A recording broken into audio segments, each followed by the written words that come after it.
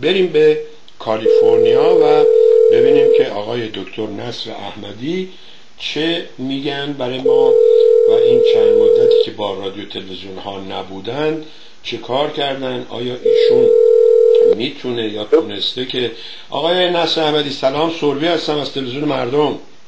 سلام جناب سروی عزیز. اول شما چطوره ممنونم. ببخشید چند دقیقه دیر شد. ما اینجا یه اشکالی برام پیش آمده بود که البته امر خیلی بود. اشکالی نبود. مسئله نیست. من خواستم فقط اطلاع پیدا کنید. حالا چند دقیقه تاخیر مهم نیست. بله بله. دوستان شما خیلی همه خوبن. دوستان خیلی خوشحال بودن. دیدم که روی فیسبوک شما نوشتن که میان. ما هم گفتیم خب به شکرانه این کار شما رو مستقیم روی فیسبوک هم داشته باشیم. ممنونم. ممنونم سروی عزیز. فرود دوستان همت کردن. فرستین بالا زدن. از شهر تگزاس فعلا سه نفر کار جبر رو اندازی می‌کنن. بسیار فیسبوک راه انداختن و ایمیل رو راه انداختن. وبسایت هم احتمالا میندازن و امیدواریم این دفتر جده خانه جبه هم لس آنجلس را بیفته و یه بلندگوی هم پایا پای شما داشته باشیم. به همراه شما. و شما هم مدد بگیریم. ممنونم. من هر کاری که از دستم بر بیاد برای شما انجام میدم. بارها گفتم اون مهر شما بر من رسیده و واقعا سپاسگزارم. حتما از سر تشکر می‌کنم. و باور بکنید. الان سر air الان روی روی air هستیم. بله روی air هستیم. ما بله. ما آقای بله. نصر احمدی هیچ چیزی نداریم. از حالا اعلام می‌کنم. خیلی ممنون. ما هیچ چیزی نداریم که از دوستان مخفی کنیم. خیلی راحت. خودمونی. شما که لر هستید دیگه بله؟ بله من لرم از قدیم و ندیم گفتن که لرها و کردها خالصترین نژاد هستند. منتها بدون پیوستگی نژاد آریا چون نژاد آریا از بیگانه آمد از سرزمین بیگانه آمد. اتفاقا آقای... ما بیش از آریا بودیم بیش از بله. نژاد آریا که هخامنشیان هستند. و سلسله ماد ما پیش از اونها بودیم. اتفاقا آقای مینویی چهارشنبه توی برنامهشون راجع به آریایا گفتن خیلی توضیح توضیحات خود من بود آقای مینویی از بله. توضیحات خودم میره توضیح میده. بله از من می‌پرسه. آره خیلی قشنگ برنامهشون از من می‌پرسن میپرسیدند. یعنی تا شاید ما پیش. مثلا راجع به نژاد آریار راجع به داریوش کوروش پرچم شیر و خورشید و از این مسائل و از این در شاهنامه. ولی خب یه اشکال بزرگ داره نشونگاه اینقدر صفحه دو رو با صفحه چهار عوضی می‌گیرن. چهار رو می‌خونن میان صفحه دو رو می‌خونن. براشون من نمیسم قبول نمی‌کنن این که گفتگوی تلفن داشته باشین. من وقتی براشون میسم و پست می‌کنم متاسفانه صفحه یک رو می‌خونن میرن صفحه سه رو می‌خونن بعد میرن صفحه دو رو می‌خونن بعد میرن صفحه چهار رو می‌خونن. این عیب بزرگ کاره. چرا؟ این جلایه من ازشون دارم. خب حالا امیدوارم که چون ایشون الان تو کانال یکم برنامه دارن شاید اونجا به اصطلاح فرصتی هم به شما بدن نمی‌دونم. و برای من خیلی جالب بود. آقای احمدی که پریروز ایشون از من پرسید که آقای سوربی چون چهارم آبان بوده و اینها و نهم آبانم داره میاد از نظر شما اشکالی نداره که من تبریک بگم؟ و من یه دفعه متوجه شدم وای چه سیستم خفقان و سانسوری هست توی تلویزیون های دیگه که این دوستان آقای سربی اجازه بده که من نور ایلیاتی تصور کنید که از کوه من آوردن و پای تابلوی سربون و بله. پای تابلوی دانشگاه پاریس یعنی بالاترین اکادمی های روی زمین.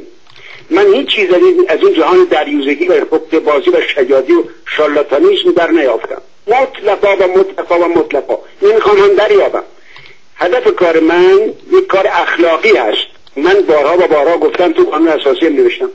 اگر حکومتی قانونی دولتی دستگاهی بر مدار اخلاق نیک نباشه و حتی سیاست معنای سیاست به معنای تنبه و آگاهی خلاف اون که ما ایرانیان میگیم زیباترین درس در دانشگاه سیاست جامعه شناسی است قانونه. اما اینکه بیرون میاد مردم منافعشون با تضاد برخورد می‌کنه و دچار تلبون و تذبذب و دو رنگی میشن اون هم علاهده اصل منافع هست. اما من حیرانم من هرگز و هرگز در تاریخ برادکستینگ یا مسمدیا به قول فرانسوی ها من ندیدم اینقدر سانسور و خفقان در تاریخ ارز نه در جمهوری اسلامی دیدم نه در کشورهای کمونیست دیدم. برای اینکه من می‌دونید اولین دکترای من جامعه شناسی انقلاب هست. یعنی تنها آدمی در این رشته ایرانی در این رشته هستم. انقلاب هم از کجا آمده؟ از فرانسه آمد رفت به بلوک شرق و در بلوک شرق گسترش پیدا کرد. از قسم تخصص من در کار انقلاب راجع به اون کشور هست من هرگز خفقانی که در ممالک سوسیالیستی و کمونیستی راست ها و امپریالیست ها تبلیغ می‌کنن هرگز در تلویزیون به اندازش یک دهمش در تلویزیون های فارسی زبان خارج از کشور من ندیدم. یعنی من اعلام می‌کنم اعلام کردم. یک بار در تلویزیون فارس آخرین گفتگویی که داشتم. یه آقای به نام علیرضا میبودی برنامه گذار من بود. با انگشتم از بالا به پایین میز زدم و کوبیدم گفتم سانسور اینجاست. اختناق اینجاست. منظورم نه تنها تلویزیون شما. آه همه تلویزیون های فارسی زبان خارج از کشور سراسر وحشتناک اختناق دارن. شما پیش خداوند جسیم به راحتی حرفتون می‌تونید بزنید. اما در تلویزیون ها و رادیو های فارسی زبان برون مرزی. مطلقا و مطلقا بویژه بویژه علل خصوص علل خصوص تلویزیون های, طرفدار خانواده پهلوی. مطلقا شما نمی‌تونید بگید پشت چشم آقای رضا پهلوی ابرو هست. خب ابرو پشت چشمش ولی اجازه نمیدن. شما بگید. چون شما در اونها نیستید. بس از اونها نیستید. خب آخه وحشتناکه این وحشتناکه. بله. عجیب من سی هفت سال فریاد می‌زنم که آقا اگر شما طرفدار راستی جوان مردی مروت حکومت سالم هستید.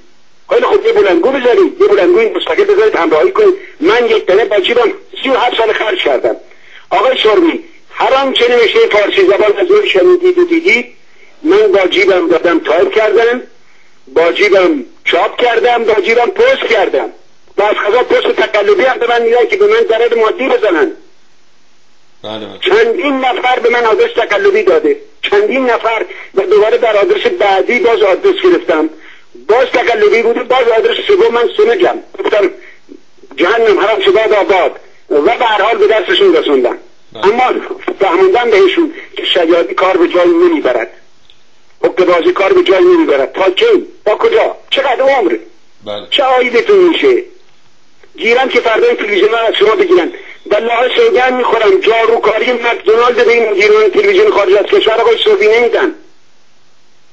بلد نیستن برن در مغازه بعد از سی و هفت سال سیب زمینی بخرن.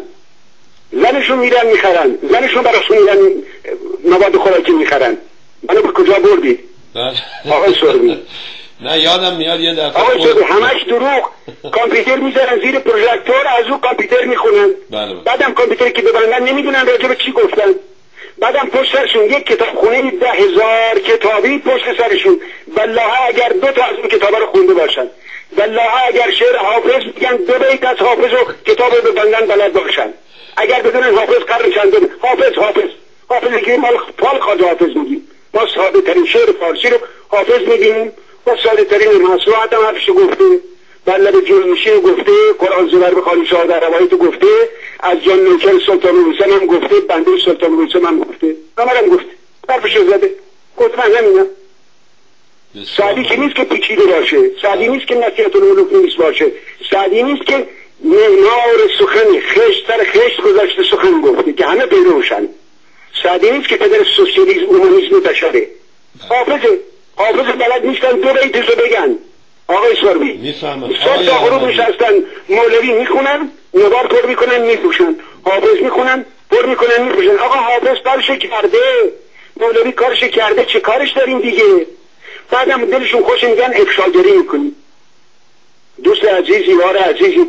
یه روز تلفنی به من گفت مگر جمهوری اسلامی پنهان کاری داره که آقایون رهبران سیاسی و تلویزیون هم افشاگری بکنن؟ جمهوری اسلامی که سر چهار راه اعدامشون می‌کنه شلاقشون می‌زنه کاریشم که کار می‌کنه در خلوت هم نیست علنی هم هست.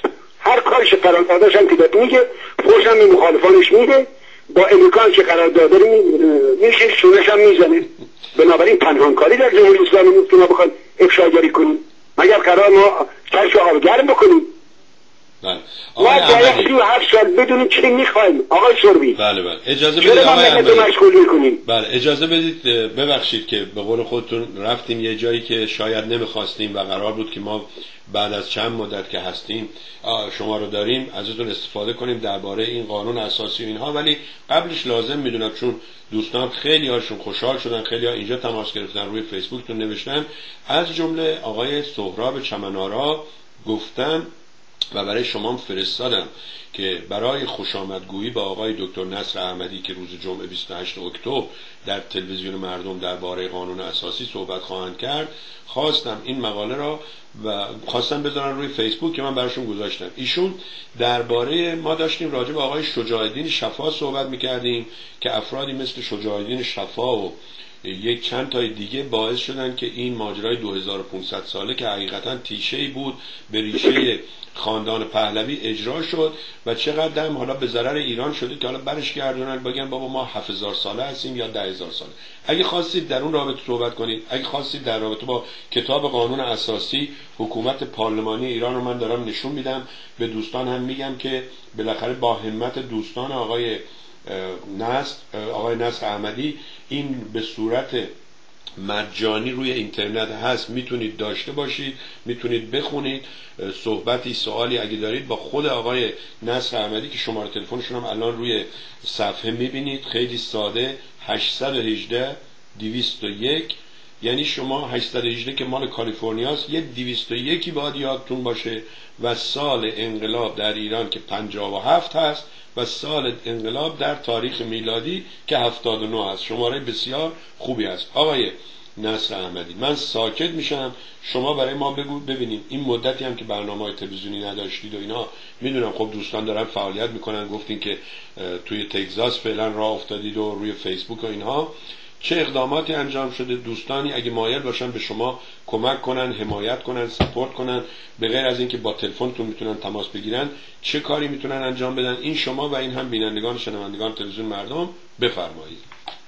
بینهایت از شما سپاسگزارم. اولا از جناب مهندس سهراب چمنارا بینهایت سپاسگزارم که فی سبیل خلق سراستین بالا زدن. چون ایشون هم معتقد هستن که خداوند نیازی نداره که ما براش کاری بکنیم. برای که اگر به خالق معتقد باشیم آفریننده تمام جهان هستی است. یعنی شامل دهکشان تا بیاد به منظومه شمسی و این کره زمین و کره زمین هم که میلیاردها موجود و زنده است که بیشتر شما اسمشون نمی‌دونید. به ویژه آبزیانو و. بیجان و جامد و جماد و نبات و گیاه و همه همه چیز. بنابراین ایشون معتقد هستن که خداوند نیازی نداره. فی سبیل خلق سراستین بالا زدن خلق محروم و ستم دیده. دیدن یک قانون اساسی راهکار آینده ملت هست. قانونی بیطرف بینظر بیغرض ایدولوژی درش راه نداره سیاست درش راه نداره جنسیت درش راه نداره. سکولار هست. افزوده بر سکولار به معنای گستردهترش لایک هست. افزوده بر اون جنبه اومانیزمش انسانگراییش و یگانگی برابریش در قانون هست. و بنابراین ایشون هم معتقد هستند که ما اول باید بدونیم چه می‌خوایم. فریادی که من سی و هفت سال نه سی و شیش سال سی و پنج سال این که خارج از کشور هستم از روزگار آغاز جوانی فریاد می‌کشم ما باید بدونیم چه می‌خوایم. آقای سربی هنانی گرامی من از اون دست مدیان رهبری سیاسی نیستم که بگیم هرچه ملت گفت که ملت رو فرید میدیم و بگیم هرچه پیش آمد اول جمهوری اسلامی رو بزنیم بعد هرچه خواستیم. اولا با که می‌زنید جمهوری اسلامی رو؟ سلشکری که الان فرق گیر کمون و مسلسل بلد نیست و 90 سالشه و گروهبان پیشش رد شه اگر سلام به گروهبان کنه و اون گروهبان بدونه که این سلشکر پیشین جواب سلامشون نخواهد داد اولا با چه چیزی جمهوری اسلامی رو خواهد زد؟ دو با کدام ابزار جنگی؟ ایشون ابزار جنگی فراموشش شده. عرض کردم فرق تیکماد و مسلسل یادش رفته. بنابراین این یک مشغولی مردم بیش نیست. از طریق مدعیان رهبری سیاسی سر به و سر به فرمان بیگانگان. آقای سروی من همیشه فریاد کشیدم. باید بدونیم چه می‌خوایم. شما اگر قرار شد خونی بخرید آیا نباید بدونید در چه کشوری؟ آیا نباید بدونید در چه شهری؟ آیا نباید بدونید در کدام نقطه شهر؟ آیا نباید بدونید مساحتش چقدر باید باشه و چند اتاق داشته باشه و این اتاقات چه شکلی باشن؟ این سوال من از شما خواهش می‌کنم. این سوال ساده که شما مهندس فنی هم هستید. حتما به من می‌تونید جواب بدید. برای خرید خانه شما باید مساحی و مساحت خانه رو بدونید. حتما باید بدونید دیگه. بله؟ بله مساحتش بدونید. نوع زمین همه چیش بدونید. بله. همه چیش بدونید. آقایان مدعیان رهبری سیاسی میگن نه جمهوری اسلامی رو بذاریم پس خیلی خوب. فرض محال محالی جمهوری اسلامی رو ملاکه ها آمدن کمک شما و جمهوری اسلامی رو زدید. خیلی خوب. می‌خواد چیکار بکنید آیا گروه های سیاسی مجالی برای شما خواهند داد؟ یا خود شما اگر همه گروه های سیاسی هم باشید. مجاهد کمونیست مصدقی ملیگرا مشروط خواه پارلمانتاریست ها خانها باقی های این حکومت حزب توده بیگانگان آیا مجالی برای آرامش در اون مملکت خواهند گذاشت که شما بنشین قانون اساسی بنویسید و چه کسانی قانون اساسی می نویسند چه کسانی انتخاب می شوند آقای سروی من همیشه گفتم فرض محال محال نیست جمهوری اسلامی آرامش برقرار کنه بگه نه من میمانم تا شما قانون اساسی بنویسید. قانون اساسی رو وقتی مؤسسانتان تصویب کرد می‌روید. لطف خداوند شامل ملت شد. آیت الله خامنه ای شخصا آمدن این مسئله اعلام کردن که محال است. خیلی خوب. شما با چه کسانی قانون اساسی می چند گروه سیاسی؟ در این حکومت ستای اخوان مسلمین ستای نوکران امریکا انگلیس فرانسه. ستای هم بیلمک که همیشه می‌دونیم برای چی به مجلس میرن. خب یه قانون بدتر از مشروطه و بدتر از جمهوری اسلامی برای ما حتما خواهید نوشت. یه قانون اساسی شسترفته متخصص این کار. من تنها ایرانی هستم آقای سربی شاید تنها آدم در جهان باشم. که هم متخصص حکومت شناسی هستم هم متخصص قانونگذاری. هستند کسانی متخصص قانونگذاری و پارلمان. هستند کسانی متخصص حکومت گذاری حکومت نگاری حکومتگری اما هر دو با هم نیستند. من کسی رو نیافتم پیدا نکردم. تا به حال حکومت شناس من کسی به تنهایی ندیدم که هم حکومت شناس باشه هم قانونگذار. از بد حادثه من هستم و از بد حادثه لور هم هستم. از بد حادثه ایدئولوژی هم ندارم. شریک رقص شبانه هیچ گروه دسته و فرقه و و مسلک مرامی هم نبودم. نه شریک قمار کسی نه قمار بلدم نه به قمارخانه رفتم. البته من فخرالدین ابراهیم شهریار عراقی نیستم به قمارخانه رفتم همه پاک باز دیدم. چون نرفتم امتحانشون بکنم کار نکردم. من شریک هیچ دسته و فرقه سیاسی نبودم. تا به حالم که با شما به همین همه گفتگو می‌کنم برای هیچ دسته سیاسی و گروه سیاسی حتی برای سخنرانیشون هم نشدم. بنابراین ایدولوژی ندارم. قانون اساسی به قول سعدی بزرگوار دوحت و ماه سر ساله برای اگر مختزافی درش پیدا می‌کنیم برای آینده ایران و حتی اصلاحاتی که برای ممالک غربی که بسیار اشکال دارند امریکا فراوان در قانون اساسی چه اشکال داره؟ متاسفانه رادیو تلویزیون های برون مرزی که بیشتر امریکا هستن 95 درصدشون.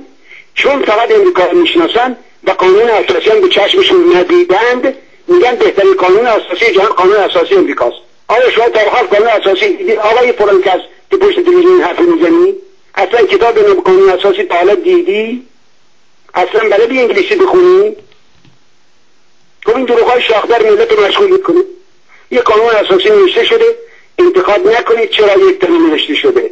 نگید یک تنه کار پیغمبرانه وحی الهی هست. خیلی خوب نصر احمدی به اضافه هزار نفر.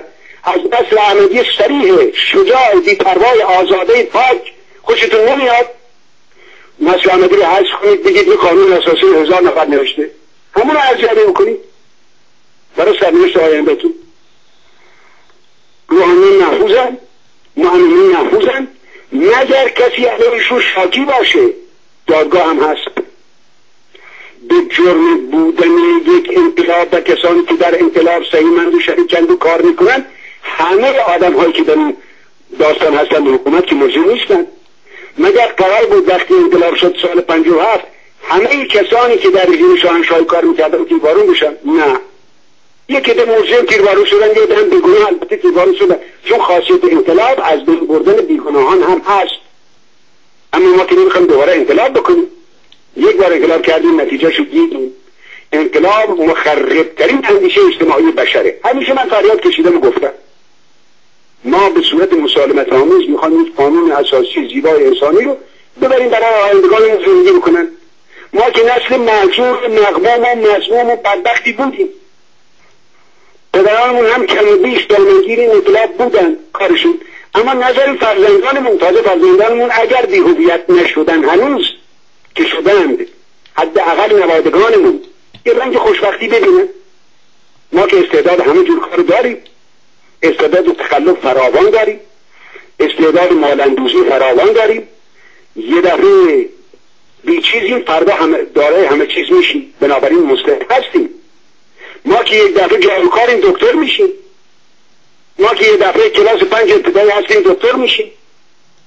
خب بنابراین استعداد در ما هست. چرا استعداد زیبا نباشه؟ چرا جنبه انسانی نباشه؟ این قانون اساسی به اون جهت نوشته شده که آیندگان رنگ خوشبختی ببینند اما آقای سربیچین اول گفتگو منو به جایی کشوندید که تابعی از چه بخوام چه نخوام تابعی از فرایند احساس شدم فراموش کردم که اول بار خدمت شما مثلا کنم سپاس بدیم از این برنامه که در اختیار من گذاشتید از دوست دانشمندم جناب دکتر کازم افشارا با توجه به همین بارگاه های دینیشون و من رعایت می‌کنم که از بسیاری اصول به رسم امانت منحرف نشم. این برنامه کمال ایشون در اختیارم گذاشت بسیار بسیار سپاسگزارم. از دوستان فیسبوکی و یاران جبهه برای فردای آینده ایران باز هم سپاسگزارم. دوستانی که فراموش نکردن دوستانی که هدف پارلمانی رو می‌دونن راه خوشبختی مردم آینده کشور هست. سپاسگزار باشم. اگرچه سی و هفت سال هرگز توقعی نداشتم برای این هدف ملی تا اونجا که خودم امکانات داشتم خرج کردم. اما یک جبهه یک حزب یک سازمان سیاسی بدون پشتوانه مردم اول کاری است. یک تنه این است که باید گفت کار یک تنه نباید کرد. و کاری است که ممکن است فردا سوال برانگیز باشد از کمک بیگانگان. جناب آقای سرمی همیشه جبهه که در مقام والاتریه و بعد حزب و سازمان همیشه از مردم کمک گرفته. این حزب دموکرات امریکا حزب جمهوری خواه امریکا حزب سوسیالیست فرانسه حزب گولیست فرانسه حزب دموکرات مسیحی آلمان و همه احزاب سیاسی به ایتالیا که هفتاد و سه حزب داره و در مجلس هر هفتاد و سه حزب نماینده داره همیشه کمک مالیش از مردم بوده از طرفدارانش بوده از هواخواهان اون احزاب بوده. بنابراین وقتی این جبهه رهایی و بازسازی ایران درست شد بعد از اولین سازمان سیاسی خارج از کشور که اسمش سازمان هماهنگی هواداران مشروطه پادشاهی بود و دو سال بعد از دکتر کلالی اون یاران من جوانترین عنصر به عنوان دبیر کل انتخاب کردن و بعد از یک سالی مخ ها گفتن که حیف است که مشروطه کم و کاستی درش ایجاد بشه و قداست پادشاه بیاد پایین به اعتبار پادشاه کم بشه. آمدن اونها رفتن حزب مشروطه روز کردن. بر همین روال پادشاهی محمد رضا و مشروطه کارشون ادامه دادن. به همین جهت هیچ تنابنده هم نمی‌تونه در بلندگوشون معترض باشه. کار خودشون می‌کنن. پنج تا تلویزیون مستقیم در اختیار این هدف هست. دو سه تا رادیو بلندگوی این هدف هست. و این هدف رو کم و بیش با همه نادانی هاشون با همه کمدانشی هاشون به پیش می‌برن. برای اینکه تبلیغ آقای سروی خیلی کار موثر می‌کنه. شما زیباترین اندیشه رو تبلیغ نکنید در کوتاه مدت به فراموشی سپرده خواهد شد. ما نمی‌خوایم دوران محمد رضا باشه که همه چیز بر مدار یک نفر باشه. وقتی محمد رضا شاه از مملکت رفت شما که می‌دونید یک اصل قانون اساسی به گمان اصل پنجاه هست. اصول نظامی به فرمان پادشاه. یعنی هر حرکتی از اصول نظامی چه بری چه بحری چه هوایی به فرمان پادشاه. وقتی پادشاه از مملکت بره بیرون خب این قشون بی سرپرست میشه. سرباز در جبهه بدون فرموده شکست می‌خوره. بنابراین مجرم اول محمد رضا شاست. ما نمی‌خوایم که مشروطه باشه و یک نفر فرموده کل قوا باشه. ما نمی‌خوایم مشروطه باشه که یک نفر فرموده یک قوای سگانه رو داشته باشه یعنی مکمله قضایی و مجریه پس اصل تفکیک قوا که در همه قوانین اساسی جهان آمده حتی در اصل به گمان 27 همون مشروطه هم آمده. پس چرا این عنوان می‌کنه وقتی اونجا نوشته قوا از همون فک هستند یعنی مخنمی مجریه و قضاییه پس چرا از این بر از مسئولیت مبراست؟ و شاه فرموده کل قواست و توشیح قوانین در عهده پادشاهه و انتصاب قضات به فرمان پادشاهه و عزل نصب وزیر هم به فرمان پادشاهه. چرا آقای سربی به همین جهت من مش... قانون مشروطه را فاسد این قانون جهان تا حالا دونستم. بارها از من پرسیده شده آقای سرمی شما خواهش می‌کنم شنونده من باشید و پاسخ هم به من بدید. بله، بله. بارها از من پرسیدن که آقای دکتر نصر احمدی شما به عنوان قانونگذار تنها قانونگذار ایرانی تفاوت میان قانون اساسی مشروطه و قانون اساسی جمهوری اسلامی در چه است و کدام ترجیح می‌دید؟ بارها و بارها گفتم حتی اگر شمشیر دموکرس بیخ گلوی من باشه به من عنوان کنن گن مشروطه میگم نه. یک بار این سر منو بزنید. قانون اساسی جمهوری اسلامی به مراتب پیشرفته تر از قانون اساسی مشروطه است. من برای کسانی این حرف عنوان می‌کنم که خواستار سربلندی ایران هستند خواستار آزادی ایران هستند خواستار اطلاع جامعه ایرانی هستند خواستار تجلی شخصی به عناصر ایرانی هستند. نه یک نفر و برای چسبیدن به اون یک نفر مملکت رو بچاپن خیلی تو نیست. چرا وقتی محمد رضا میره عنوان می‌کنه که اگر من بروم ایران ایرانستان خواهد شد. البته باید می‌گفت امیرانستان ولی وقتی مشاورانی مثل شجاعی و شفا داره که فقط یک معلف و سوادی نداشته خب معلومه. او باید بگی ایرانستان. اما چرا می‌رود؟ چرا وقتی ببینیم ایران وقتی رفت ایران میشه و خراب میشه؟ درست حکایت رستم فرخزاده. رستم فرخزاد در جلوی جنگ برای برادرش وصیت می‌نویسه آقا تو رفتی بجنگی چرا وصیت می‌نویسی می‌نویسی که این قادسی دخلگاه من است. چرا تخت بر برآور شود؟ همه نام بوبک عمر شود. خاک بر سرت تو رفتی بجنگی. و تخت با منبر برابر می‌کنی. بریزند خون از پی خواسته شود روزگار بد آراسته. خاک بر که به روزگار بد آراسته به استقبالش بودی این در تاریخ جنا خونی قلابی تو رو قهرمان به ما داد جلوه دادن. نه آقا شاهنامه بایسورگویی ملت ایران بخونه. محمد بنعلی رو بخونن. بعد کمک گرفته از محمد بلعلی محمد جدید تبری هست برن بخونن؟ ابن میسا رو برن بخونن؟ ابن مقل بغدادی رو در صورت الارض و اخوالین برن بخونن؟ ببینن این آقای قهرمان اونجا چه کرده؟ اونجا رنگش بریده چهار روزه برای برایش وسیعت نوشته. سر چهار روزه هم شکست خورده. با سال 24 هزار نفر در برابر چند نفر؟ 23 هزار نفر با برهه خنجر به بس شکست خورده. بعدم گفته آقای شده من به تو این نمره میدم. زود برو پیش اومد یا برو پوست پیش سعد رقاص بگو هر کی می‌خواد بهت با من نجای از این چه سرداریه؟ چرا ما قایم به یک نفریم؟ چرا؟ آقای سروی چرا قایم به یک نفریم؟ به همین جهت میگه پارلمانی. پارلمانی این همه. بغل. آن را که ملت آزادن بگویند. پارلمان یعنی آنجا که آزادی بگویی. این معناش دیگه. یه لغت لاتین آمده در زبان فرانسه از زبان فرانسه رفته به دیگر زبان های اروپایی. چرا این ممالک اروپایی نفر تصمیم گرفته نیست؟ اگر چه سیاست های پس پرده باز هم نانکاری می‌کنه و خرابکاری می‌کنه اما دیگه نه وحشت به اندازه کشور ما. اونها برای بیگانگان بند بحث سیاسی می‌کنن ولی برای خودشون جرأت نمی‌کنن. اگر فردا یک قانون بخون تغییر بدن در امریکا کن میشه. پدر رئیس جمهور در میارند در فرانسه اگر یه و تبصره قانون بخواد تغییر بکنه یه کار خلاف شمولات ملی فرانسه بخواد بشه پدر اولان رو ملت در میاره. وسیله نمایندگان منتخبش. چرا؟ چون نمایندگان منتخبش هستن. آقای احمد آقای رستم فرخزاد مدرد خانم جمله رو تموم کنم. تو وقتی اینجوری جنبی برای برای میشی ستاره سهره ما و بهرام ما بر شانه ما کج شده؟ و آقا تو که اینقدر پیش بینی می‌کنی؟ ستاره زوره ستاره که پیشواز و بدرقه خورشیده در می‌دونیم درخشانترین ستاره به نزدیک خورشید زهره است که همون دروسه خدای عشق. آره برامون که ستاره جنگه. خب میگه از اون روی برگردونده تو تا به این حد پیش بینی چرا میگی به جبهه؟ چرا یک نفر میگی و عوض عوض کن آقا. خب قانون اساسی رو روی میگه. شاه فرموده کل خواست شاه از مسئولیت میبراست. درجات نظامی فرمان پادشاه. اصل اصل نصب وزیر به فرمان پادشاه. انتخاب قضات امضاش به فرمان پادشاه. قانون وقتی از هر یک از مجلس میآید توشیش برای دون مکان است. یعنی اگر توشی نفرمود کشک یعنی هیچ. یعنی ملت زحمت کشیده نمایندگان زحمت کشیدن قانون نوشتن آقا خوشش نیمد میفرماید این قانون اساسی قانونی مشروطه. انحلال و انبساط مجلسین در آن واحد به فرمان پادشاه است. آقای سروی قانونی از این زشتتر و وحشتناکتر در کره از شما دیدید و شنیدید. حالا این ملکه با پادشاه دعوا شد.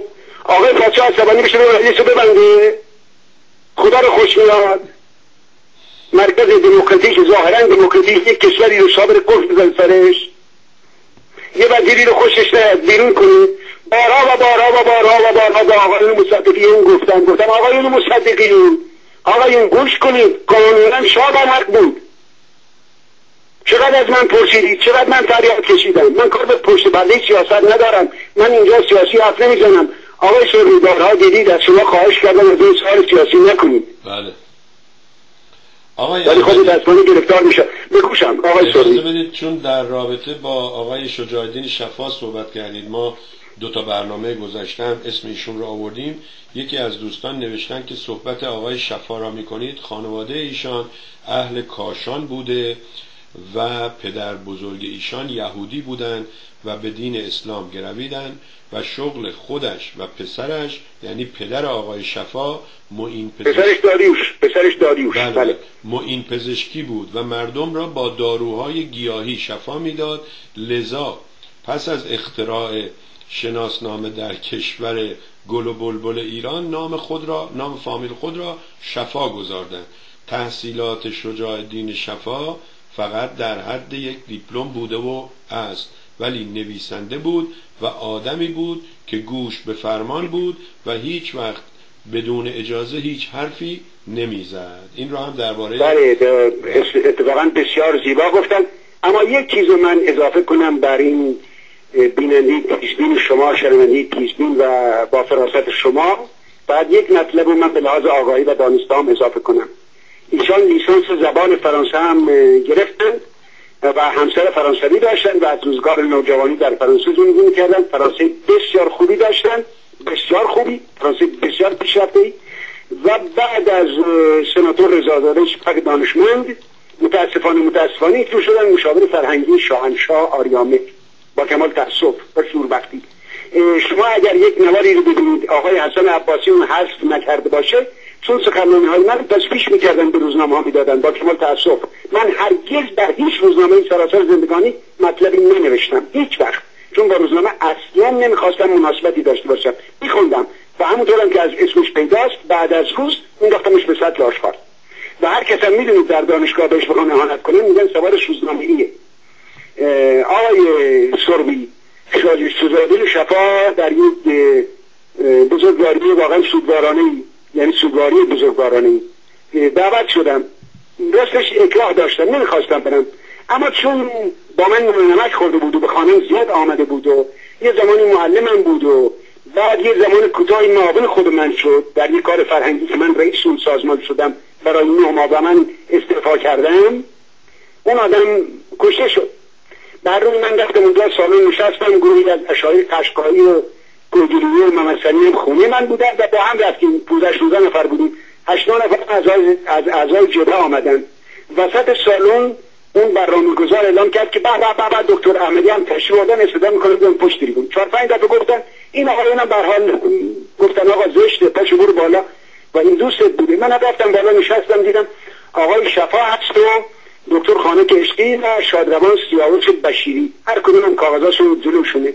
آقای شفا از اون دست آدم ها بود. اگر کاغذش رو جلوش کشیدی دیگه نمی‌دونست راجب چی باید بگه. حتی از معرفی خودش عاجز بود. شجاعی شفا. وقتی من حرفام تمام شد شفا خیلی زرنگی کرد. گفت که جایی که دکتر نصر احمدی سخنرانی می‌کنه دکتر نصر احمدی جوان. اون موقع من اولین دکترامو گرفته بودم. همین انقلاب دکترای انقلابو گرفته بودم. هنوز رشته مورد علاقم که جامعه شناسی سیاسی بود هنوز وارد نشده بودم. بعد می‌خواستم حقوق بخونم اینها. برای قانون گذاری از این حرفا. گفت جایی که دکتر نصر احمدی سخنرانی می‌کنه یا مطلبی رو عنوان می‌کنه گناه نفر بعدی بخواد مطلبی رو عنوان بکنه. به همه مطالب گفته شد.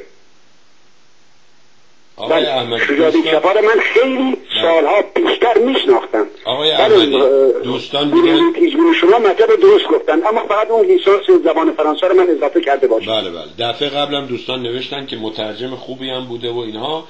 بله بله خود زبان فرانسه بله. می‌دونسته. بله, بله عرض کردم. آقای احمدی دوستان میگن که آقای نصر احمدی خیلی پر انرژیه و سریع صحبت می‌کنه و ما بعضی وقتا متوجه نمیشیم مخصوصا چون توی تلفن هستید شما.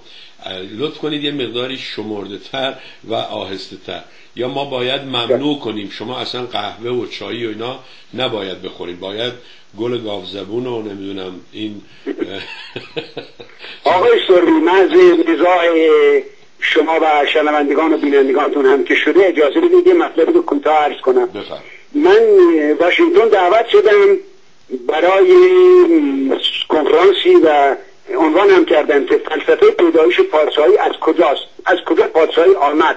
چون بارها از من پرسیدن جمهوری از کجا آمد؟ این دفعه پرسیده بودن که پادشاهی از کجا آمد؟ آیا پادشاهی بیش از دین بوده یا بعد از دین بوده؟ من دعوت شدم به اونجا.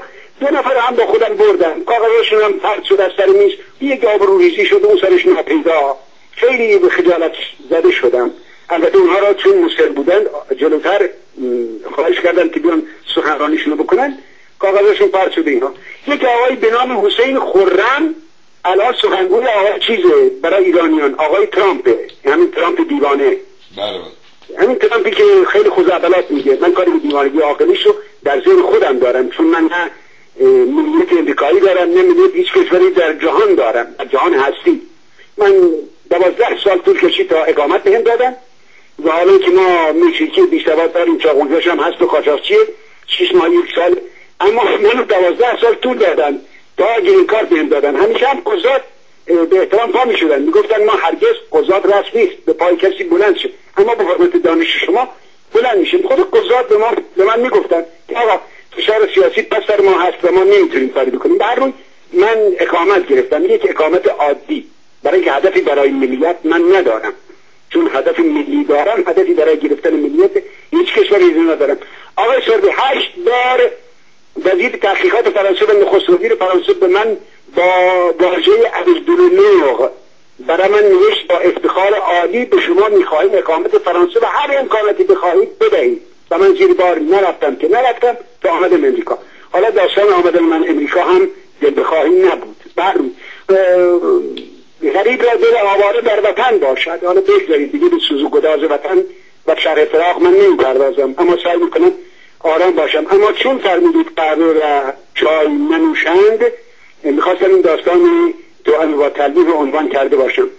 وقتی به اون کنفرانس رفتم و کنفرانس من سخنرانی من تمام شد نفر سوم بودم. آمدم رفت رجوع کردم حرفای دوستانم و بعد حرفای خودم رو گفتم. پیدایش فلسفه پادشاهی و این دین از کجا آمد؟ بعد دین آمد بعد از پادشاهی. من آگاهی همیهنان نماز بکنم. یک آقای پاشد پرسید آقای حسین خوردم من نمی‌دونستم نماینده حزب مشروطه در اون ایالته. و آقای دکتر احمدی شما را چه کسی آرایش می‌کنه؟ میه چیز دوربین. گفتم هیچی شانوی خوندی؟ گفت نه. گفت خب پس گناهه. آقا می‌دونم آقای خانمایی که اینجا نشستن شاهنامه خوندن. اما من این واژه از شاهنامه می‌دونم خدای کرده حد حرمت و بیادبی نشه. من تخمه پدرم هستم. خالص خلص ایلیاتی احتیاجی ندارم. به قول سعدی بزرگوار حاجت مشاطی نیست روی بلارام را. من یه اصلاحی می‌کنم بیشتر ما دوش می‌گیرم سرم بین راه می‌کنم وقتم گاه ندارم. کراوات من بین راه می‌زنم هیچ. من طبیعی طبیعی خلاص خالصم آقای سروی چای و قهوه و این موادی که می‌زنن کت مک از این حرفا که می‌زنن. من سراسر زندگانی طبیعی زندگی کردم. طبیعی هم میمیرم مگر تصادفی باشه مسئولیتی باشه برم بیمارستان.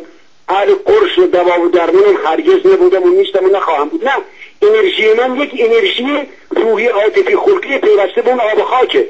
آقای سربی من سی و شیش سال خارج از کشورم خواب دیدم. خواب دختر زیبای فرانسوی امریکایی رو دیدم. پنج شیش ماه چهار پنج ماه یک سال نمی‌دونم ده سال چی.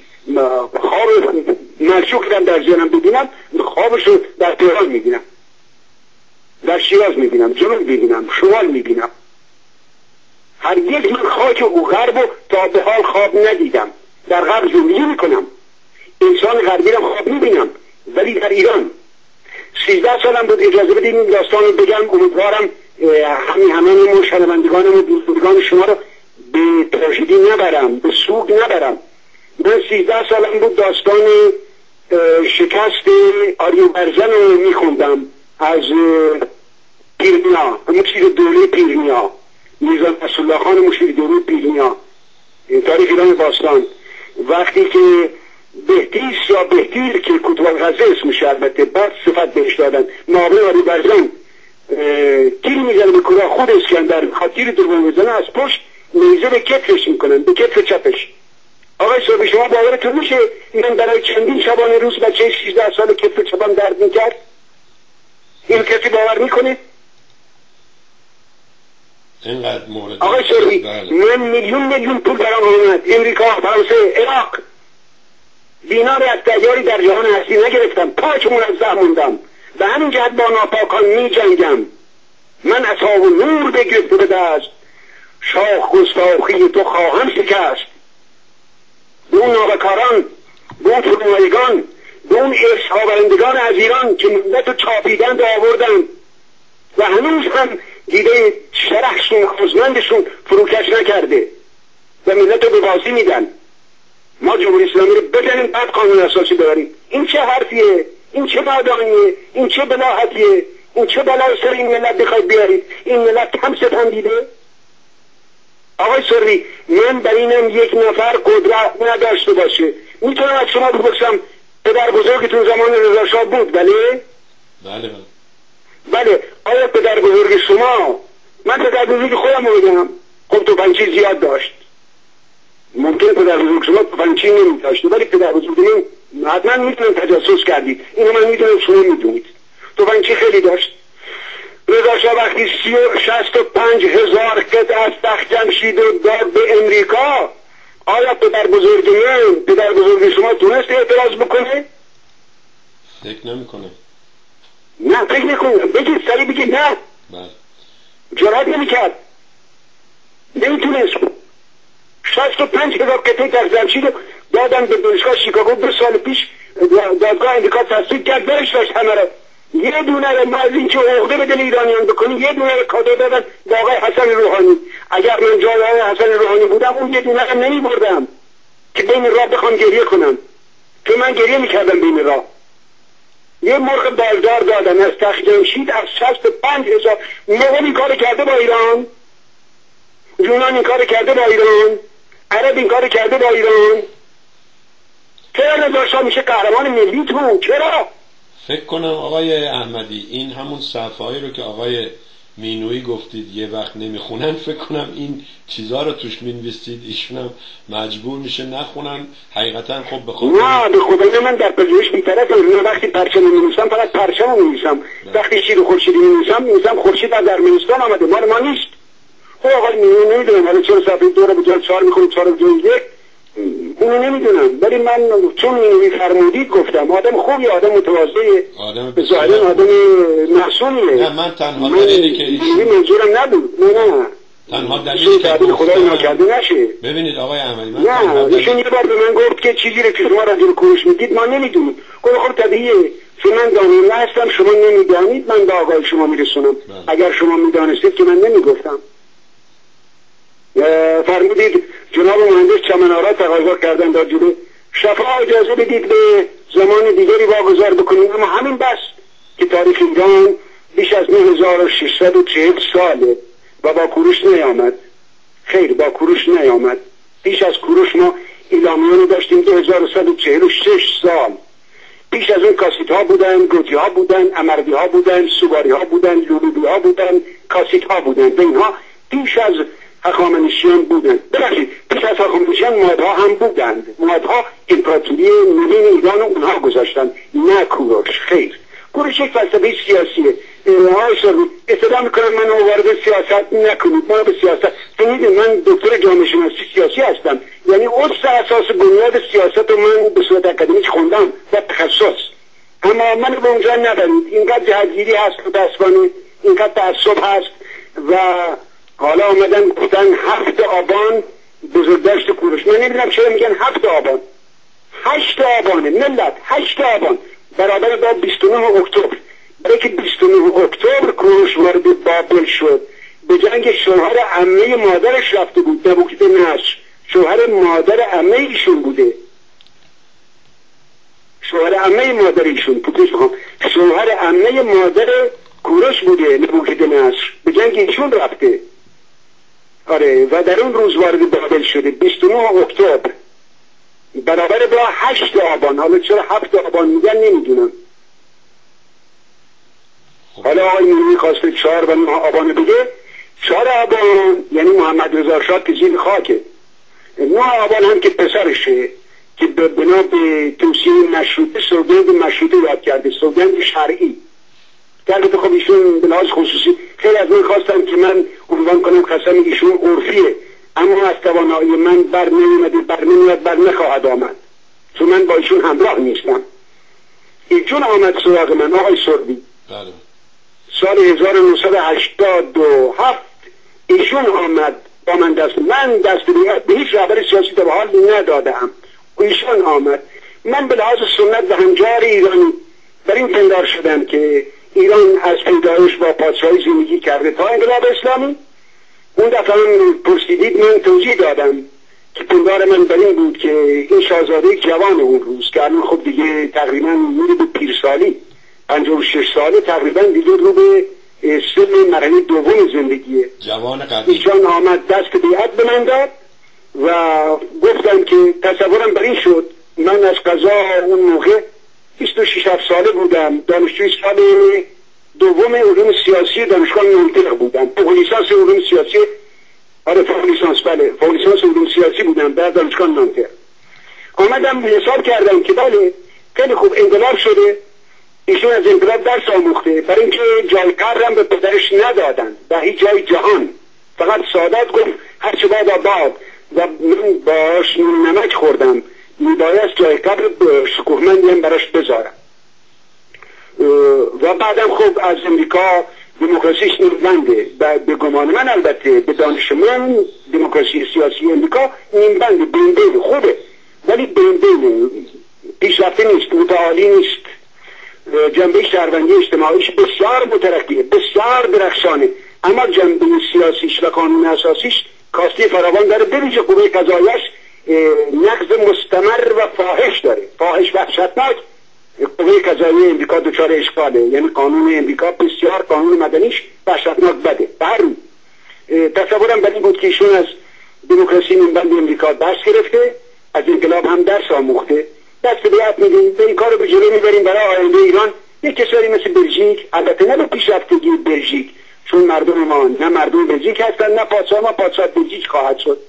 مثل هلند مثل اسپانیا. مملکتی رو درست می‌کنیم نیمه خوشبخت باشه. آقایون روحانیون هم اعتبارشون سر جاشه. معتبر و محترم و معززم هستن. دین هم سر جاشه.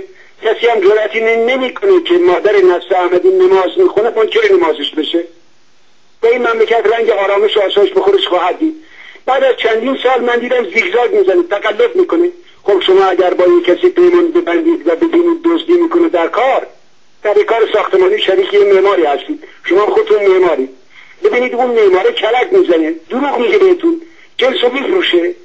یا مثلا به کارگر اصحاف می‌کنه. شما چیکار می‌کنید؟ ادامه می‌دید؟ نه.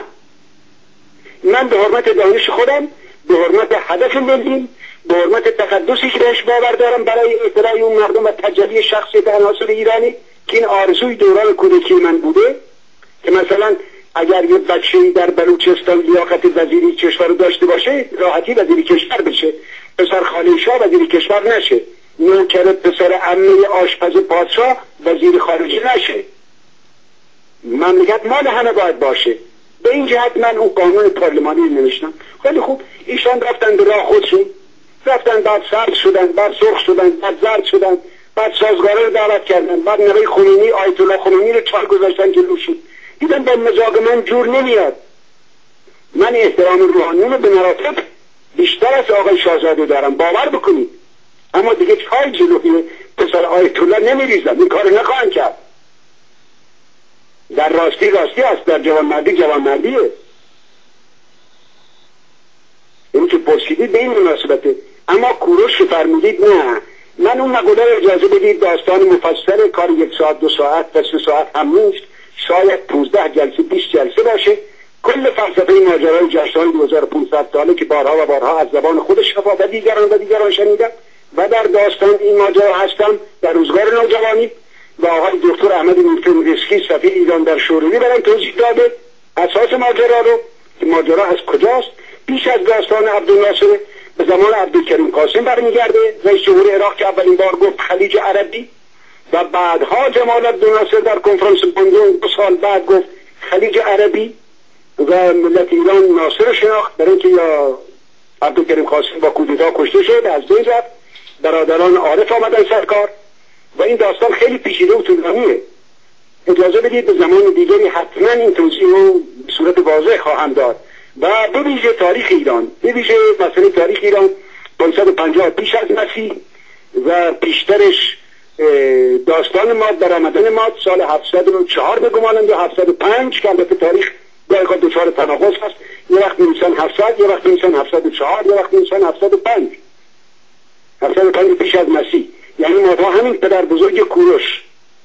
کوروش سوم منظور. کوروش سوم که به کوروش کبیری لقب گرفته. بله خب پادشاهان اخامنشی خیلی زحمت کشیدن. ببیشه بشر امروز در حکومت شناسی و در حکومت داری مدیون داروش بزرگه و ایران اطلاعش از زمان داروش بزرگ آغاز میشه.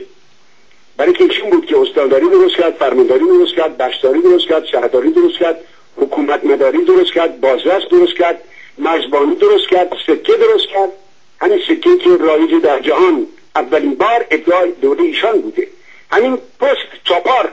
هنوز هنوز شما که می‌دونم این واژه رو می‌دونید. میگن اسمش چاپری رفت. یعنی چاپار. بله بله. بله این از اونجاست. پست درست کرد. پست واژه ابداع داروش بزرگه. همینجا افلاتون در رساله هفتم عنوان می‌کنه پادشاه داتا یعنی قانونگذار در رساله هفتمش. و در این قانون اساسی من توضیح دادم جناب آقای برای من سپاس از یاران فیسبوکین دارم. آرزوی شادی می‌کنم. اما مطلبی که هنوز در گلوی من میمونه و هست و اگر بلنگوی هم داشته باشم هر جلسه این عنوان خواهم کرد این واژه تیتر دکترا هست. که سال 1987 در پاریس در شیخته شد. جمهوری اسلامی هم اینو دامن زد. آمدن یک دانشگاه درست کردن به نام آزاد اسلامی آقای جاماس آقای ورجاسبی دکتر ورجاسبی رئیسش شد به همت سرمایه مالی هاشمی رفسنجانی علی اکبر هاشمی رفسنجانی و دانشگاه متعددی در ایران گذاشتن به نام دانشگاه آزاد اسلامی. که به هر کسی این پوپونو دادن. یک کسی در بیسپول بود و در تهران براش دکترا ساختن. یک کسی در بندر ماهشار بود در شیراز براش دکترا ساختن. و دکترا شد سال یک بود. چرا؟ برای این کار که فیزیه بیاد بالا. چون هر چیزی به فراوانیش بی اعتبار میشه و هر چیزی به قلتش این در قرآن هم هست. هر چیزی به قلتش گران میشه به نایابیش گران میشه. و بعد جمهوری اسلامی گستردش کرد. آمد در امریکای دانشگاه گذاشت به نام دانشگاه گلوبال رئیسش آقای ابوالقاسم سمدانی بود. بله بله. و به هر کسی هم خواست دکترا داد یه دو هزار دلاری هم می‌گرفت که خواهد دو هزار تا پنج هزار. در همین اروان تقریبا صد کیلومتری محل زندگی من. اتفاقا به منم پیشنهاد که شما می‌شناسید جناب سربی می‌کنم بله. در رادیوها تلویزیون ها بهشون میگن دکتر.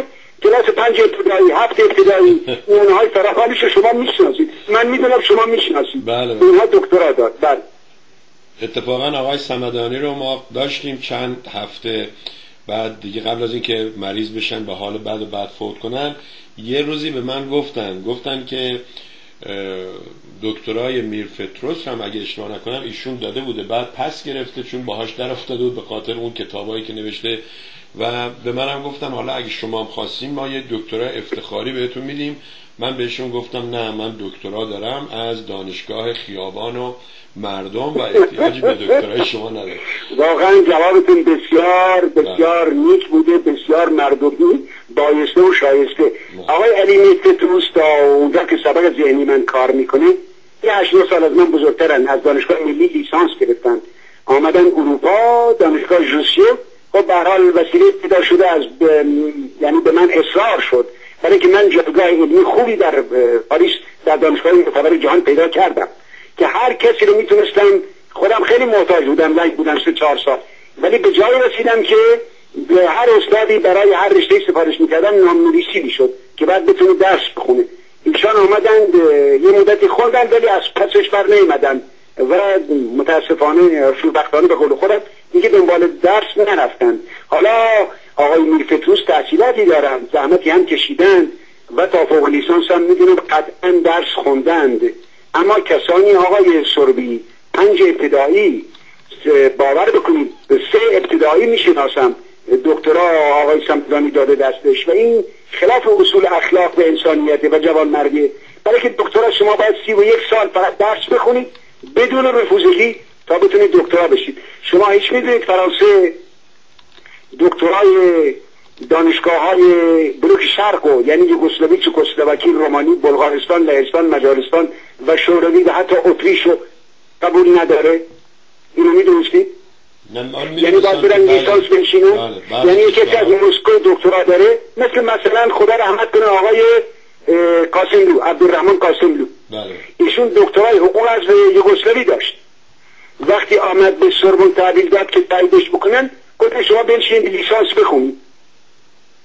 آقای عبدالرحمن قاسملو گفتن نه شما بنشینید لیسانس بخونید. چون معتبر نیست. البته براش خانم فرانسوا میتران که دانیل میتران اسمشه هم اسم پسر برادرشه. برای اینکه فقط در فرانسه یه ای که به قول انگلیسی ها ای به قول فرانسوی او آخر جمله علفان یعنی آخر اسم تغییر میده. مذکر می‌کنه یا معنیس می‌کنه. ایشان و آقای برنارد کوشنر از طراحان ابتکار جدایی کردستان از ایران هستند اونجا مدرسه بود به نام لانزو یعنی زبانهای شرقی. در اونجا یه بخشی باز کردن به نام دراسات کردیه. و در اونجا ایشون کردی درس می‌داد. منتها با تیتر خودش با تیتر همون دکترای حقوق از یوگسلاوی. بله، بله. پیش از اینکه بره اتریش و کشته بشه. بله. بله این داستان فاجعه بار زیانداری علم در ایران به این تیتر دکترا. و باور بفرمایید آقای سربی 99 درصد اینها که دکترا میگن دکتر نیستن. یعنی وکلا که به طور مطلق کلمه لیسانس هم ندارن. تمام وکلای ایرانی کالیفرنیا حتی لیسانس معتبر ندارن. منها یه درصدشون هستن البته. خدایش. و این 99 درصد که دکترا ندارن 60 درصدشون فوق لیسانس ندارن. 50 درصدشون به طور قطع و یقین لیسانس ندارن. یه 20 درصدشون هم تا حد دیپلم بیشتر نیستن مطلقا دانشگاه نرفتن. مطلقا و مطلقا. و گاهی اوقات هم دانشگاه درس میدن. خب بهشون میگن پروفسور. شما می‌دونید هر کسی در دانشگاه درس بده مثل ما در ایران که هر کی دانشگاه درس بده بهش میگیم استاد. اما خب استاد مراحلی داره. ده. اول مربیگری ده سال مربیگری ده سال استادیاری دوازده سال دوازده سال هم دانشیاری بعد استاد میشه. و به این استادان یک نفر میشه مقدم الاساتید مثل دکتر غلام صدیقی بنیانگذار علم جامعه شناسی هم که شرایط شاه در نخست دیدی نتونست بپذیره. چون مستقیم به دکتر صدیقی گفت و در خونهش سوگندش دادم که استاد عزیز شما که دو بار هیچ بشری تایید نمی کنید در این مدت زمانی که شما تا به حال درس دادید هیچ بشری رو تایید نکردید. ولی دو دور در سخنرانی رسمی نصر احمدی رو کلید نجات آینده ایران معرفی کردید جوانترین دانشجوتون به آخرین دوره دانشجویتون رو. شما که این کار کردید به من هم بفرمایید شاه چرا نپذیرفت به فرزندم شاه به من گفت که من فشار پشت سرم هست برای بیرون رفتن از ایران. و نمی‌توانم شرط سوم شما را پذیره باشم. به همین جهت من هم آمدم به خانه هم نشستم. بله. که شرایط بله شرایط ایشون آقای می‌خواستم این مطور کوتاه عرض بکنم. بله. لیسانس هم در اروپا وقتی درس میده در امریکا بهش میگن پروفسور. فوق لیسانس هم درس بده بهش میگن پروفسور. پیشتی هم درس بده بهش میگن پروفسور. دیپلم مطالعات هم درس بده بهش میگن پروفسور دکترای دیگر که آخرین محله تحصیله اونم درس بده بهش میگن پروفسور بنابراین واژه پروفسور در ایرانی هم خودش به حال قوز شده که متاسفانه تلفظ می‌کنن پروفسور حالا چرا پروفسور من نفهمیدم شاید منظور از فسفر باشه در مغزشون شاید منظور پر از فیس و افاده است پر فیس بله بله. شما درست آخه شما فرمودید دکتر جامعه جامعه شناسی خیابان و مردم هستید این درست ترین حرفه. بله بله, بله. اون پروفسور به معنی پرو یعنی دلیل و سور به معنی آگاهی و تنبه اون نیست. اون منظور همون فیس و افاده است. بله. آقای احمدی شما باور دارید اگر آقای هدف آقای سرویمن پایان جمله را عرض کنم ملخص کلام. فیسبوک استر کار دارن که فیسبوک رو می‌بینن. سه از یاران سراستین بلا زدن. کار جبهه رو دبیرخانه موقت جبهه رو انجام میدن. هم کار فیسبوک هم کار ایمیل ها رو انجام میدن و پاسخ میدن. گاهی خواهد سوال تکنیکی رو که حتما به من میگن نامه های هم حتما به آگاهی من میرسونن تلفن من هم اون بالا اعلام شده اگر کسی طالب ارتباط مستقیم با خود من هست همینطورم که شما فرمودید 818 که اریا کود منطقه کالیفرنیا هست ببخشید منطقه ولی هست در لس آنجلس و دویست هم که فرمودید اول شماره است بعد پنجاه هفت هفتاد و پنجاه هفت هم که فرمودید سال انقلاب ایرانی و هفتاد هم سال انقلاب است. مسیحی بنابراین بسیار نقطه ساده و روانی هست این است که اگر کسانی طالب ارتباط با من هستند با اون نمره با من تماس می‌گیرن ما یک هدف داریم برای پیشبرد این هدف ملی یعنی نظام پارلمانی برای آینده ایران که همه انقلابیون همه کسانی که دستن در کار ایران هستند. جامعه ایرانی مسون و در امان است. با اطلاع و تجلی شخصیت برای یک هدف نظام پارلمانی آینده ایران. حالا اگر مؤسسان آینده ایران به صورت اکثریت پادشاهی پارلمانیش کرد ما به اون پادشاه می‌گوییم اعلی حضرت. اگر نه مثل بلژیک مثل اسپانیا مثل دانمارک مثل فنلاند مثل دیگر کشورهای پارلمانی پادشاهی. اما اگر مؤسسان آینده ایران به نظام جمهوری پارلمانی رأی داد ما هم به اون رئیس جمهور می‌گوییم جناب آقای رئیس جمهور مثل فرانسه مثل آلمان مثل ایتالیا مثل اسرائیل مثل هلند هند با پوزش مثل هند و دیگر کشورهای امریکا مثل امریکا ایالات متحده امریکا. ما هم به اون رئیس جمهور می‌گوییم جناب آقای رئیس جمهور. بله. حرفی بالاتر از این به گمانم منطقی تر از این بیطرفانه تر از این و بیتوقع تر از این در این جهان هستی. نخواهد بود. اگر روز روزگاری همون پارلمان برگزیده مردم این جبهه را دبیر کل به رئیس دولت خواست این من یعنی من نسل احمدی رئیس دولت کار خواهم کرد با یارانم. با یارانم در جبهه اون دولت رو میچرخونیم. اگر کار خوب کردیم ادامه میدیم اگرم کارمون از نظر اون پارلمان خطا و لغزش بود ما را بیرون می‌کنیم میریم به خونه بود میشینیم کار شخصی می‌کنیم. بسیار هرگی بالاتر از این به گمان نیست. ما فقط یک بلنگو می‌خوایم بیاری هم میهنان گرامی نیازمندیم تا به حال محتاج و چشم انتظار تاجرهای میلیاردر ایرانی بودیم که دوازده سال پیاپی شب روز به نسل احمدی گفتن ما شما را ساپورت می‌کنیم براتون بلندگو می‌ذاریم جبهه رو راه اندازی می‌کنیم به سراسر نکات جهان. اما خب شرایطشون آقای سروی وقت دارم من شرایطشون عنوان کنم به هم میهنانم یا نه. متاسفانه وقت نداریم ولی امیدوارم که باز در آینده زمان دیگری واگذار می‌کنیم. اما شرط تاجرها برای من قابل تحمل نبود و شرط ننگالود بود. و من پناه بردم به هم میهنانم. از ده دلار به بالا به همت مردانشون بستگی داره. من یه شعری از رحیم معیری به گمانم. در خلق را بود سر سودای مال و جا آزاد مرد را سر سودای دیگر است.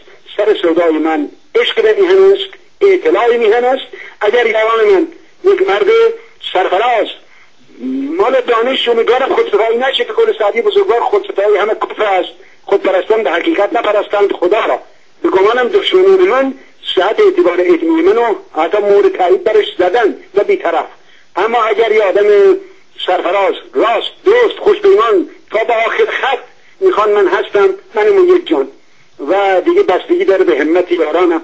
من نامه بر دالود خانم فیروزه قوارپور رو دلم می‌خواد در سایتمون و آقای آزرخش هی الف یه رو هی الف هی ببخشید. اونجا ببینیم ببینیم چقدر در دالودی این دو و بویژه همت مردانه مهندس سهراب چمنارا که سخت پیجوی یک نظام پارلمانی برای بویژه بررسی قانون اساسی نظام پارلمانی آینده ایران هست. من سپاسگزارم از همه یارانم. سپاسگزارم از شما جناب آقای که این وقت در اختیار من گذاشتید و هماهنگی کردید با دوست فاضل و دانشمند دین پناه هم دکتر کاظم افشارا. بسیار سپاسگزارم از این وقتی که به من داد. بسیار ممنون. بهترین ها رو براتون آرزو می‌کنیم. به امید دیدار. سپاسگزار میرتونم خدا نگهدار. دوستان عزیز با آقای دکتر نصر احمدی بودیم. شماره تلفن ایشون همینجوری که روی صفحه فیسبوکشون من اینجا نشون میدم. اولا صفحه فیسبوکشون رو اگه دوستان لطف کنن و به انگلیسی هم کنار همین یا زیر همین دکتر نصر احمدی بنویسن چون وقتی به انگلیسی می‌زنیم می‌بره ما رو توی صفحه فیسبوک دیگه. و اگه اون صفحه صفحه ایشون نیست و یه نفر سو استفاده کرده اون رو به فیسبوک خبر بدید میبندتش. در اصل من فکر می‌کنم کار خوبیه که اینجوری نوشتن دکتر نصر احمدی به فارسی ولی با انگلیسی هم بنویسید که هر دو پیدا بشه یک. دوم اینکه کتاب قانون اساسی ایشون این رو همیشه مجانی به دوستانشون دادن ولی الان روی اینترنت هست می‌تونید بگیرید لطف کنید با خودشون تماس بگیرید یا با فیسبوکشون تماس بگیرید. اگر مشکلی بود با من تماس بگیرید. لینک کتابشون رو روی اینترنت بهتون میدم. ضمن ایشون از آقای دکتر صدوقی صحبت به صلاح اسم بردن که قبل از بختیار شاه با ایشون صحبت کرده بوده که بیا نخست وزیر شو و این مملکت رو یا این کشتی رو از این طوفان نجات بده. اون بهش گفته بود به شرطی که شما وایسی اینجا. و شاه هم که گفته بود من یک عواملی به هم فشار میارن من فکر می‌کنم هیچ عاملی نبوده جز ترس جز اینکه اینها حاضر نبودن فداکاری کنن. تازه فداکاری هم لازم نبوده. وظیفهشون رو انجام بدن. این همه سال حقوق گرفتی لذت بردی پول بردی. حالا باید وظیفت رو انجام می‌دادی اونا وظیفهشون رو انجام ندادن. حالا بماند که بعضیا وظیفه رو که انجام میدن هیچ خدمت می‌کنن. بالاتر از خدمت فداکاری هم انجام میدن. از دوستانی که روی فیسبوک بودن ممنون و متشکرم. شما که روی فیسبوک هستید لطف کنید صفحه دکتر نصر احمدی رو هم یک نگاهی بندازید لایک کنید باشون تماس بگیرید و بگید که از طریق تلویزیون مردم باشون آشنا شدید. و چیز دیگه ای که می‌تونم بگم اینه که تشکر کنم از آقای حسن ارشاد که یا ببخشن ما که امروز 15 دقیقه برنامهشون رو دیرتر شروع کردیم. و آخر هفته خوبی براتون برای شما همه آرزو کنم به امید دیدارتون روز دوشنبه. روز روزگار بر شما خوش.